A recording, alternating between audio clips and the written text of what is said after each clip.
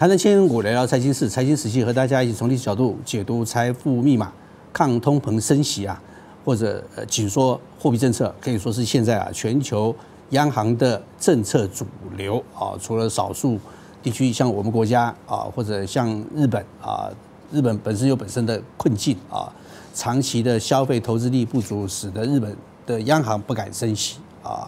那我们国家呢，是因为我们的周期循环跟人家不一样，所以现在也不急着升息。但是西方国家、欧美国家那就不一样了。但是升息可能带给大家另外一个烦恼，所以万明哥今天把题目定为“死君之忧”啊。死君是什么意思呢？死君就是治理老百姓的官员啊，或者统治国家的。领导者啊，都叫做死君之忧啊。这个图的右边呢，有一个拜登啊。其实大家如果注意看的话，拜登经常愁眉不展啊。为什么呢？啊，现在的经济啊，面临到一个熊市啊，这个市场大幅的修正啊，号称为啊 “death jump” 啊，死亡之跳啊。这个死亡之跳如果跳的太急太凶的话，那真的会出现啊。大范围、大面积、不可逆转的啊经济衰退，我们在看这张图啊，昨天美股啊出现了近两个月以来最大的反弹啊，一片绿油油的。这个美国股市啊跟中国股市不太一样啊，中国人呃认为红是好事情，所以股市大涨的时候都用红来啊表现。那美国人呢？刚好相反啊！美国股票涨的时候呢，用绿字啊；股票跌的时候呢，用红字啊。大家可以看出来啊，美国股市啊出现了昨天呢两个月来最大的这个反弹啊。除了脸书 Meta 之外啊，所有的高科技股或者大型股啊都出现了大涨。特斯拉甚至于一度啊上涨百分之十二，把今年六月底出现的跌幅啊通通给补回来了啊。美国股市就是这样子大。跌大涨啊！这个包括中概股啊，昨天在美国股市的表现啊，都啊非常的热络啊。那原因是什么呢？原因是礼拜六、礼拜天呐，拜登出事情了啊！出了什么事情呢？外面哥替大家找了一张图啊。这张图呢的背景呢啊，是拜登在二零一七年的时候，在他的选区德拉瓦州啊，有一个度假胜地叫做。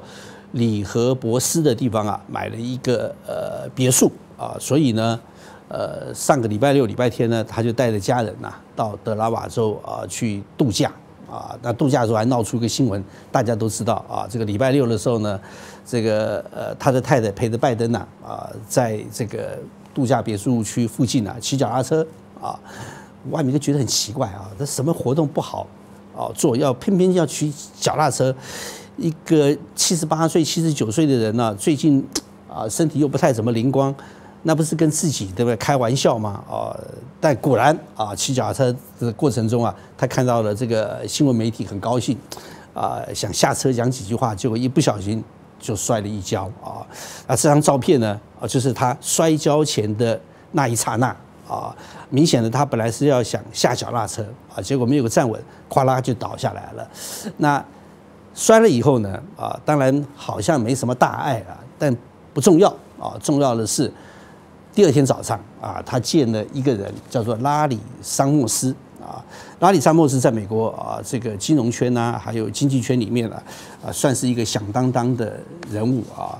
这个见完他以后啊，拜登又啊，这个举行了媒体吹风会啊，这个公开出来啊。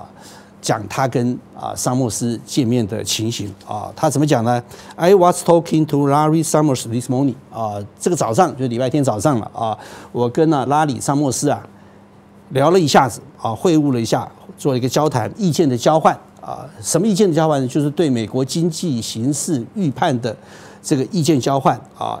And there is nothing inevitable about recession 啊。就是对于所谓 recession，就是经济衰退了啊，不会出现的啊，nothing 啊，这个不会有任何事情 inevitable，就是要避免经济衰退啊，不成问题的啊，是 nothing 的事情啊啊，真的是这个样子吗？啊，那为什么要找拉里桑莫斯呢？来啊，就经济形势的预判啊进行意见交换呢，这个万明哥替大家找了一张图啊，这是美国的媒体啊啊所做的一个啊推特上平台的一个分析啊，就是今年以来啊在推特上面啊这个讨论经济衰退的频率跟出现的次数啊，大家可以发现有几个节点啊，就四月份联准会开始升息的时候，哦就开始增加了啊。到了五月份的时候呢，英国啊这个 PMI 啊这个采购经理的指数啊出现了大幅的下滑以后，又开始啊进一步的啊增加了啊。到了六月联准会啊依次加码零点七五个百分点啊，这个升息的脚步扩大以后，大家可以发觉啊，在美国最大的社交平台上啊讨论或者提及啊经济衰退的次数跟频率啊啊比一月份的时候。明显的高了很多，高达多少呢？增加了百分之一百一十五啊！表示大多数的美国人啊，现在都开始担心经济衰退的问题啊？为什么呢？因为通货膨胀出现了啊，这个而且不断的飙涨啊，飙涨到老百姓没办法忍受啊，所以联准会呢就出重手啊，对抗通货膨胀。那出重手对抗通货膨胀。的方法呢，当然就是啊，扩大加息升息的幅度，这大家都知道了。而且进一步呢，缩减哦购买美国抵押债券或者美国财政部国债的额度啊，那明显的就是要缩减啊对市场流动性的这种益注，那当然就会影响到投资消费啊，更重要的是会影响到华尔街金融市场啊各种。这个商品的价格跟变化，那这个时候呢，投资人一定会受到很大的影响。大家都知道，美国有巨大的好几万亿美元的退休基金啊，这些退休基金基本上百分之六七十的资产啊，都是压在在股票上。这个退休基金在股票上的投资一旦缩水，那么它固定发给啊这个退休人员啊或者民众的资金呢就会少了。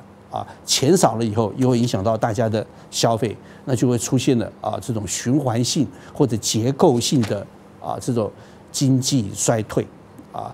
那为什么找拉里桑莫斯呢？啊，顺便跟大家介绍一下子，我们看这张图啊，因为拉里桑莫斯啊最近啊啊不断的在强调，美国的经济衰退已经是不可避免了啊。其实去年九月啊，美国的 CPI 消费者物价指数啊来到了百分之二点五的时候啊，拉里桑莫斯啊。就提出了警告，说美国的通货膨胀不是暂时的啊，会持续很长一段时间，会打击到美国的经济表现。所以那个时候呢，他一直建议啊，联准会啊赶快升息啊，必须要快速的采取必要的行动啊，抑制通货膨胀，否则一发不可收拾啊。当时。这个主流经济学界跟联准会都认为，哎，当通货膨胀是一时的，不会太久的啊，这个暂时现象不必太这个惊慌啊。那结果呢？啊，这个拉里·萨默斯的预测讲对了啊，多数的经济学家跟联准会呢的预判都出现了错误。那拉里·萨默斯什么样的人呢？第一个，他可能是美国现在啊头脑最好的经济学家啊，二十八岁。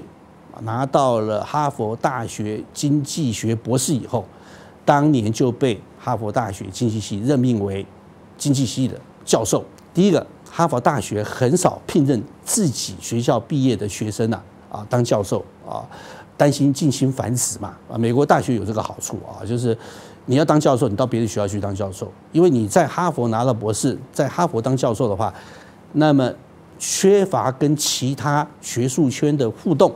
啊，形成了所谓的内卷，啊，或者近亲繁殖，不是一个好现象啊。这个说法是对的，但是他太优秀了，优秀到哈佛大学舍不得放开，啊，那怎么办？就让他留校当教授啊。那三十九岁的时候呢，又获聘啊，成为哈佛大学有史以来最年轻的终身教授啊。那这个成就更不一样了啊，而且他是官学两栖。啊，除了在大学教书以外呢，还在美国政府里头啊担任重要的工作啊。这个这张图里面所显示的是一九九九年啊，《时代》杂志的一个封面啊。当时《时代》杂志啊，把美国政府中三个最重要的啊财经官员格林斯潘啊、罗伯特·鲁宾啊，还有拉里·萨默斯啊拿出来啊，当做是当年度的啊经济学界的典范啊。用什么样的词汇来称赞他呢？Save the world 啊，拯救了世界啊！你就晓得啊，第一个。啊，克林顿时代的经济非常好啊。鲁宾呢，跟沙默斯呢，都担任过啊这个克林顿时代的这个财政部长啊。到了奥巴马当总统的时候呢，拉里·沙默斯又担任白宫的经济顾问。中间呢，离开克林顿政府以后呢，他还担任了五年的哈佛大学校长。据说啊，他的筹款能力啊，是历届哈佛大学校长中表现最好的啊。美国。大学啊，这个的校长啊，其实有没有学问不重要，但他很有学问啊。最重要的是能够替学校啊募得多少的捐款啊，那个学校有钱了以后，才能够聘请更好的这个师资啊，然后充实更好的设备，培养更好的学生啊。那拉里·萨默斯长期有个观念啊，就是美国的经济啊，如果同时出现通货膨胀率高过百分之四。然后失业率低于百分之四的情况下的话，一定就会出现经济衰退啊！他自己要带领的团队呢，对美国的通货膨胀还有美国失业率啊所做的调查，大家可以看得出来啊，这个呃通货膨胀率跟失业率一旦呢交叠在一起的时候啊，那么都会出现或者必然性的这种衰退啊！所以呢，他不断的跟美国政府啊提出警告。啊，美国必须忍受一波啊必要的经济衰退啊，而且这个经济衰退呢，必须用百分之五以上的失业率啊做基本的代价啊，就是经济衰退一定会造成失业率的提升。现在美国的。失业率平均是百分之三点六，至少要衰退到失业率达到百分之五六以上的情况之下呢，才能够疏解现在经济过热或不正常的种种现象啊。但是他这个话呢，很多人就难以接受。那最不能接受的人呢，就是谁呢？就是美国总统拜登啊！你一天到晚啊，唱衰我的这个经济，唱衰美国的这个呃金融市场。啊，这个结果呢，一定会造成老百姓对我的不满嘛。现在这个通货膨胀已经够严重了，如果再加上经济衰退的话，那这个日子怎么过呢？所以要找他来好好聊一聊啊。万明哥认为啊，拜登第一个想听听看他怎么解释，第二个是希望他声量放小一点啊。很多市场的情绪啊，其实啊，都跟有高人呐在背后啊这个鼓动啊啊，或者呢不断的啊发表意见啊。这个间接刺激所造成的啊，所以希望他少讲一点。但是呢，拉里·桑莫斯讲的话，现在慢慢慢慢的得到了多数美国经济圈跟投资圈的肯定啊。第一个，拜登啊，已经为大家带来了大通胀时代。我们看这张图啊，是美国的通货膨胀率啊，这个红框框所显示的啊，就是拜登当总统以后美国。通货膨胀率的走势啊，在特朗普当总统的时候呢，呃，这个通货膨胀率呢，甚至于接近零啊，最高的时候也不过就百分之一点多啊，基本上还处于一个良性的通货膨胀状态。但拜登上台以后啊，就不一样了。除了新冠疫情后的这个复苏啊，所造成的这个呃。报复性的消费刺激之外呢，啊，还有这个复工啊、复产等等的啊，都助长了美国的通货膨胀率。那更严重的是，拜登上台以后第一年就推出了一点九万亿美元的啊纾困措施啊。这个这两天有个新闻，就是美国财政部长耶伦啊曾经讲啊，这个拜登推出一点九万亿元的这个呃刺激跟复苏方案的时候啊，他曾经建议他能够砍掉三分之一。啊，因为你这个投注的钱太多了，可能呢会产生副作用啊，就是通货膨胀。但是呢，这个呃，拜登那个时候刚上台啊，一方面呢他自己雄心勃勃啊，希望有一些建树，那结果适得其反啊，出现了大幅的通货膨胀。所以现在美国老百姓六成以上啊，都把通货膨胀造成的原因呢，归咎是拜登的因素。那更严重的。啊，是二月份以后啊，俄乌之间的冲突啊激烈化以后啊，进一步推升或者拉高了这个通货膨胀，所以美国的这个通货膨胀啊，对？比去年九月啊，拉里桑莫斯所做出的预测其实更为艰难哦。这个拉里桑莫斯呢，还就啊美国的通货膨胀。提出了他自己的观点啊，他认为二零二二年啊，美国现在所面临的大通膨啊，跟一九八一年那个时代所面临的大通膨啊，有很大的这种差异。那这个差异可以从哪边看出来呢？可以从房地产啊的变化看出来啊。这个图的左边呢啊是美国房屋的建筑成本啊，从两千。年以后的这个变化啊，除了两千零六年、零八年了出现过这个一度的修正、短暂的修正之外，其实美国的啊这个建筑成本啊都一路的上窜啊，特别是二零二零年下半年以后啊，这个新冠病毒疫情开始呃过后，然后展开复苏以后啊，美国的啊这个房屋建筑成本啊就不断的堆高啊，这个时候呢，这个通货膨胀。物价上涨呢，啊的苗头已经开始出现了啊，这个建筑成本增加，那当然包括物料成本，也包括人工成本啊，那么很快的就会增加了美国老百姓的负担，而且会产生什么效应呢？外溢效果，从建筑业漫步到其他的行业啊，那除了建筑成本不断的推升之外呢，租金成本也不断的这个推升啊，右边图所显示的啊，就是美国全国。租金增值的这种表现啊，大家可以发觉啊，二零二二年以后啊，这个延续到二零二一年的涨势啊，似乎一发不可收拾啊。万明哥看了一下子啊，美国其实今年以来啊，这个房屋的销售不断的在萎缩，但是金额却不断的在上涨啊。到今年六月份最新的这个数据出来啊，美国二零二二年六月份平均房屋的售价。又比去年增加了百分之十五啊？为什么呢？需求减少了，那供给更少啊？供给为什么少呢？因为建筑成本增加了啊！这个买不起房的人越来越多了，但是呢，房屋的价格没有办法随着供需状况进行调整啊！这有成本上的这些因素啊！这就是拉里·桑莫斯啊，他对于美国通货膨胀预判的这种。基本根据最主要的还是美国的货币政策跟财政政策啊，没有达到哦宏观调控所要求的目标啊。万明哥啊，跟大家看的这个《管子国序篇》里面啊，有一段记载啊，这个记载呢啊，主要是描述一个国家呢啊建立货币政策啊，它的目标是做什么的？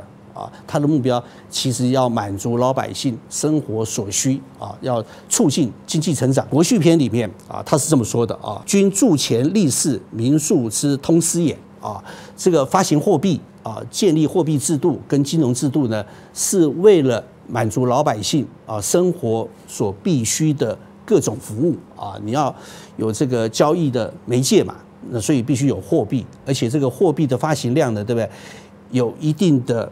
标准跟要求啊，人有若干百千之数一啊，就是根据你的人口，每一个人平均所必须的基本货币数量来进行啊这个发行。然而人事不及，用不足则何也啊？但是尽管呢，你在货币发行的过程中呢，考虑到人口的因素啊，经济发展的需要，但是还是出现了对不对哈？货币不够用。或者呢，没办法满足老百姓啊生活所必须的各种服务，这是什么原因呢？那一定有地方失控了啊！利有所并藏也，那就是货币发行的红利啊，被一部分人啊给隐藏了起来。那就是货币发行的红利啊，被一部分人给私藏起来了啊。然则人均非能善积聚，均现不足。如果做一个国家的统治者啊，啊，在货币发行调控的过程中呢，不能够解决这些流动性啊集中在少数人的这种情况之下，能够达到均平的这个目标的话，分并财力而调民事也，那么你就没办法啊，这个让自己货币发行的好处啊，能够平均的啊，让每一个人都能够受惠，则君虽强本去根，而自为铸币而无益啊。那么在这种情况之下呢，你即使啊透过各种政策啊去奖励啊这个生产，能够满足老百姓的这种需求的话，对不对哈？仍然没办法啊达到货币发行的这个目的啊。这个道理其实就像。现在美国政府经常在讲啊，希望美国制造业回流啊，希望振兴美国的制造业，因为美国人他也知道啊，制造业是一个国家的根本，但始终达不到目的。那为什么呢？就是金融市场太过于发达了啊，有人透过金融市场的操作啊，投机炒作啊，形成利益分配的不均。那你想想看，在这种情况之下，还有谁愿意本本分分的啊，安分守己的？到工厂里头或者到田地里头去从事生产啊，在这种情况之下呢，对不对哈？而今使民下相异耳啊，只会使一般老百姓啊，运用你发行的货币政策呢，互相呢残害啊，就是有钱的人呢去压榨没钱的人，有钱的人呢可以透过啊灵活的金融操作。还有握有的大量的流动性呢啊，获取更大的这种利益。那反映在美国的通货膨胀，万明哥替大家找了一个资料啊，红色的是通货膨胀率百分之三的目标啊，就是美国联准会希望在明年底之前把通货膨胀率降到百分之三。那上面有四条线啊，这四条线分别是灰色的，是现在实质上啊美国通货膨胀率的表现。那蓝色的、红色的、绿色的，分别代表了啊，去年十月、十一月，还有今年一月份，啊，大家对于通货膨胀率的预测，结果发现，啊，这个实际的通货膨胀率啊，超过了预测，而且预测的频度啊，或者通货膨胀率是一个月比一个月还高，啊，这就凸显了一个现象，就是。通货膨胀率逐渐的 run away 啊，什么叫 run away 呢？就是拉里桑莫斯形容美国联准会啊，如果没办法及时啊采取必要的措施抑制通货膨胀率的话，就会出现 run away，就是通货膨胀出走了啊，失控的这种意思啊。那今天早上万明哥又看到一个新闻啊，就是桥水公司的创办人啊，拉里欧啊。他又提出了一个观点啊，这个对拜登来讲等于是当头棒喝啊。他认为美国的通货膨胀已经由结构性的通货膨胀，就是拉里萨莫斯所讲的结构性的通货膨胀，进入到啊停滞性的通货膨胀啊。最可怕的就是 stagflation 啊，stagflation 就是停滞性通货膨胀。一方面啊出现了剧烈的通货膨胀，另外一方面又出现了经济的衰退。老百姓的痛苦指数啊，就会不断的升高。这个达里欧他怎么讲呢？他的英文是这样讲：We experience the bigger lurch。lurch 是什么意思呢？就是大幅度的、快速的、激进的啊，forward 啊，就是我们之前的啊这个货币政策呢，是一个 bigger lurch forward 啊，翻成中文来讲就是大跃进的意思。那现在呢？And are now，就是现在呢，又经历了一个 experience 什么呢？Bigger lurch backward，啊，又反过来啊，从大跃进呢变成一个大撤退，啊，这个就是中国人讲的啊，你过去呢有多高兴呢，现在就有多痛苦；过去的市场涨得有多凶呢，现在就跌得有多凶，啊，过去呢股票涨你赚得多高兴呢，现在股票跌呢？你就有多悲哀啊！这个管子里面啊，他曾经讲过一句话啊：“岁事美啊，就是碰到丰年的时候啊，丰收好的时候，则四条无语，而苟至食人食啊，丰收的时候啊啊，这个物资太多了啊，粮食太多了，卖不了多少钱。那么人呢，吃的食物还可以给狗吃啊，就是物资太充裕了啊，狗都可以吃人吃的。”东西啊，那岁势凶，那碰到呢饥荒的时候呢，则势敌腐食强啊。那因为粮食短缺呢，你卖一锅的粮食呢，要用十串钱啊，那就非常非常的贵，而道有恶名啊，即使粮食价格这么贵，但是呢还不够吃，那就会出现呢啊饥民四散的这种情况之下啊，老百姓在家里吃不饱了，就跑出去要饭嘛，所以啊，道有饥民。然则其囊力故不足，而食故不沾也哉？啊，这种现象呢，是土壤的生产力不够吗？啊，或者说食物不足的原因吗？啊，管子认为不是这个原因的，他认为呢，夫往岁之条件。啊，苟至食人时，故来岁之民不足也。啊，那就是过去呢，啊，在粮食收获太多的时候呢，你出现了大规模的浪费。那个时候没有把粮食呢进行必要的收购跟储存，啊，达到平抑市场的功能，啊，那么换来的结果呢，就是啊，灾年的时候呢，你没有办法满足老百姓的基本需求。其实管子讲的这个话。啊，跟达里欧讲的话是相符的，就是任何的经济政策都要取得一个平衡啊，你不能够为了满足华尔街那些金融巨鳄希望在资本上啊获取大量红利的这种需要呢，就无限度的量化宽松啊，进入这个所谓 bigger reach forward 啊，采取这种大跃进的这种措施。那美国现在面临的什么问题呢？达里欧认为啊，美国现在就是希望能够抑制通货膨胀。而且呢，啊，采取的措施是非常激进的，但这个结果呢，就会造成美国财政的恶化。啊，我们可以看这张图所显示的是日本的、德国的、英国的，还美国的啊，十年期公债值利率啊，他们现在的这种变化。美国的十年期公债值利率现在基本上都维持在。百分之三点三到百分之三点四之间，最高的时候一度达到了百分之三点七五啊，可以说是所有啊发达国家中啊这个所谓国债殖利率啊最高的国家啊，也反映出美国政府举债的成本啊还在不断的上升，在这个结果之下呢，美国的赤字会进一步的恶化，结果呢就是出现啊大规模的经济衰退，这就是达里欧对于美国经济现象。啊，它基本的解释。啊，就是你现在呢，因为过去过度宽松的货币政策，造成了失控的通货膨胀，然后呢，你现在要压住通货膨胀呢，又不断的升息，造成了美国公债值利率的上升，增加了财政负担啊，这个形成了政策的两难，也就是造成停滞性通货膨胀最重要的原因。今天跟大家分享到这里，谢谢。